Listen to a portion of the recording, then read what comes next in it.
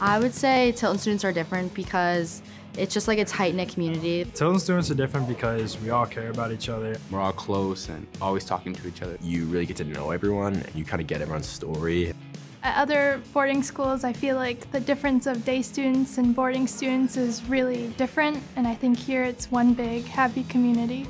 Tilton students are different because they always try their best to like expand themselves and incorporate new things into their daily lives. Everybody's engaged and focused on their sport and their academics.